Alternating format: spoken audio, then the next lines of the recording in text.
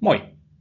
Minun nimeni on Juuso Kojo ja minä olen vuonna 1996 täällä KTKlla aloittanut alumni. Siirryin jo opiskelujen aikana 99 työelämään ja niinpä valmistuminen luiskahti komeasti tuonne 2000-luvun puolelle. Mutta mä oon työskennellyt luokanopettajana yli 20 vuotta ja siirryin viime keväänä maaliskuussa tänne yliopistolle projektityöntekijäksi opettajan digitaalisen osaamisen täydennyskoulutusprojektiin.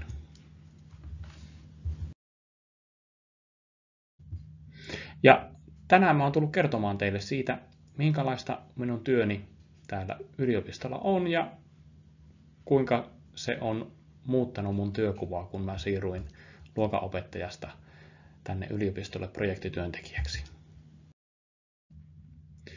Tämä projekti, missä minä olen töissä, on tämmöinen Digipeda-projekti, joka on siis opettajan digitaalisen osaamisen täydennyskoulutusprojekti.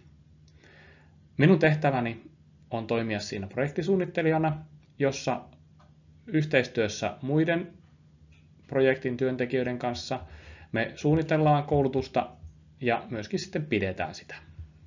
Me pidetään koulutuksia etänä, lähinä ja hybridinä, ja niinpä minun isona työtehtävänä on huolehtia myös siitä, että kaikki nämä kolme koulutusmallia toimii teknisesti hyvällä tavalla. Sen lisäksi yhteistyössä muiden projektin työntekijöiden kanssa niin me on luotu digitaalinen oppimisalusta Suomen yliopistojen yhteisen digikampus oppimisympäristöön, joka on semmoinen Moodle-pohjainen oppimisympäristö. Isona osana tätä työtä on myöskin minulla se, että mä tutkin ja opiskelen, mitä kaikkea digitaalista osaamista, opettajan digitaalisesta osaamisesta ja digitaalisesta pedagogiasta on kirjoitettu ja tuon sitä tietoa sitten näihin meidän koulutuksiin. Näiden varsinaiden koulutusten lisäksi niin työhön kuuluu tosi paljon yhteistyötä tämän meidän oman tiimin, eli oppimisen ja opetusteknologian tutkimusryhmän LETin sisällä. Meillä on tässä tutkimusryhmässä useampi projekti, joiden kanssa tehdään paljon yhteistyötä. Lisäksi teen yhteistyötä myöskin tutkimusryhmän tohtoriopiskelijoiden ja tutkijatohtoreiden ja, ja muun henkilökunnan kanssa. Sitten me tehdään yhteistyötä koko tiedekunnan, kasvatustieteiden ja psykologian tiedekunnan tasolla sekä meidän tiedekunnan opettajien että sitten tutkijoiden kanssa paljon yhteisiä asioita, mitä tehdään. Ja tietenkin tällaista työyhteisö, työyhteisöön kuuluvaa kokoustamista ja, ja tuota, myöskin vapaa-ajan viettoa ja vapaa-ajan suunnittelua yhdessä.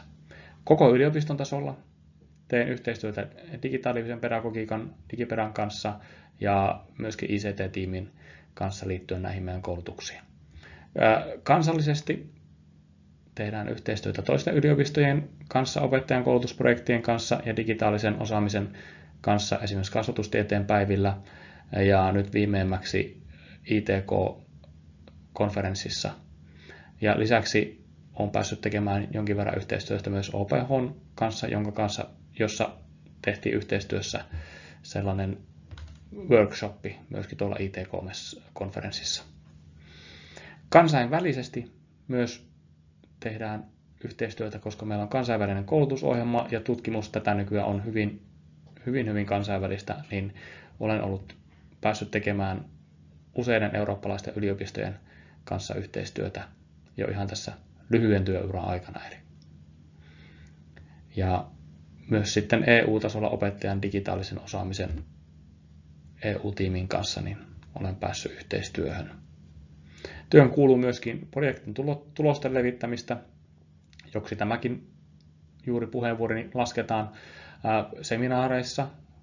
Pidän luentoja täällä yliopistolla eri ryhmille, esimerkiksi opettajien, yliopisto-opettajien pedagogisessa koulutuksessa kävin pitämässä luentoa.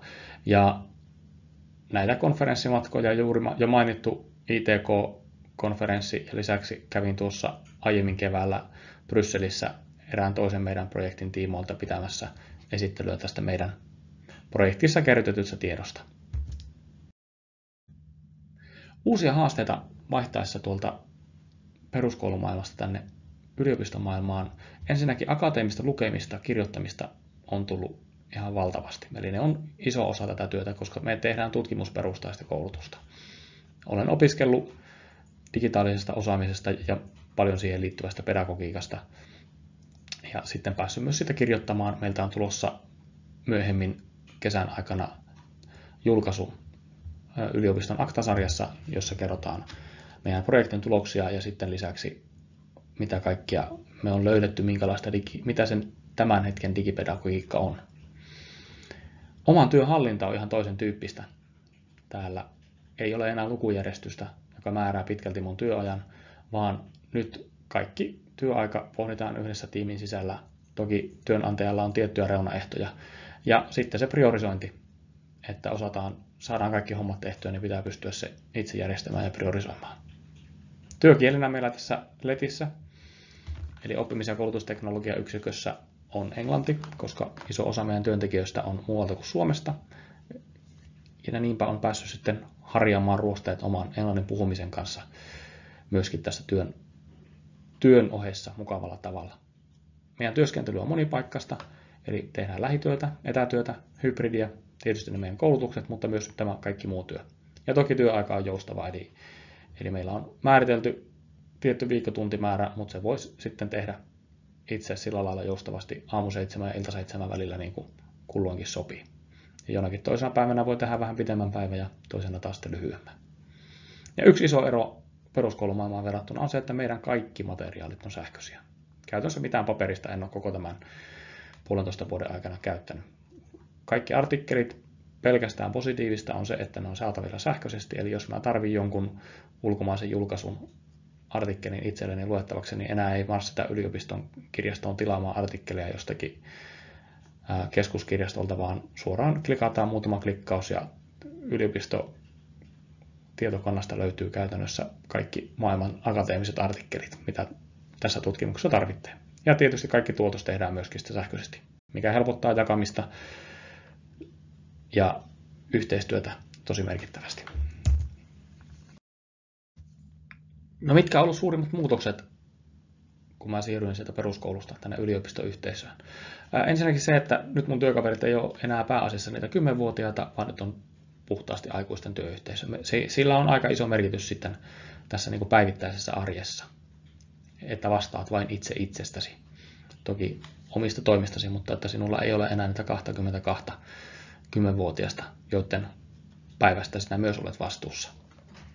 Täällä on yliopistolla tutkijoiden kesken ja projektien kesken ja yliopistojen kesken kilpailu on kovaa, joten kaikki on tosi motivoituneita siihen oman työn kehittämiseen.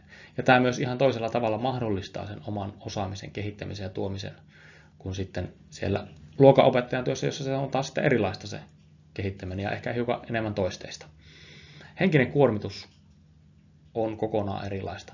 Totta kai meillä on aikataulupaineita ja meillä on koulutuksia, mitä pidetään, mutta äh, koska se semmoinen sälä ja häly puuttuu, niin jotenkin on kokenut, että tämä on kuitenkin aivan toisella tavalla. Kognitiivinen kuormitus on kylläkin. Varsinkin alussa huomasin pari-kolme ensimmäistä viikkoa, kun vaihto tähän työhön, kaikki oli uutta, niin hyvin nukutti, koska oli niin aivot kävi kovilla kierroksilla koko päivä.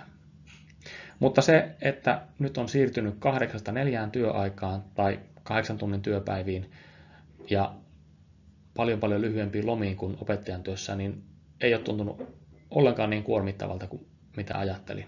Jopa niin, että ensimmäisenä kesänä, kun vaihdoin määräaikaisen opettajan pestistä tänne, niin mulla oli kesälomaa kokonaista kolme päivää. Silti syksyllä tuntui tosi innostavalta ja mukavalta jatkaa töitä tässä hommassa. Että nyt tulevana kesänä on sitten jo vähän enemmän niitä lomapäiviäkin käytössä. Sellaista noin lyhyessä kuoressa on projektityöntekijän homma täällä yliopistolla siirryttäessä tuolta koulumaailmasta. Jos on jotain kysyttävää, niin ota yhteyttä, tuossa on mun sähköpostiosoite. Ja tuota, pakolliset klausulit loppuu. Meidän projektia on tukenut Euroopan unionin sosiaalirahasto, joka rahoittaa meitä tuon ely kautta.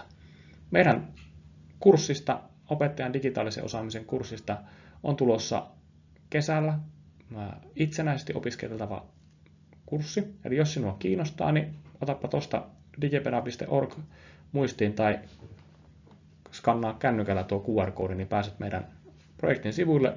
Siellä sivustolla ihan pian julkaistaan meidän tuleva kesän ja ensi syksyn koulutus, joka voi tosiaan tehdä kahden opistopisteen laajuisena, opetella vähän digipedagogiikkaa.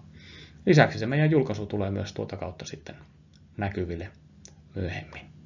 Kiitoksia tästä ja mukavaa alumnipäivää teille kaikille.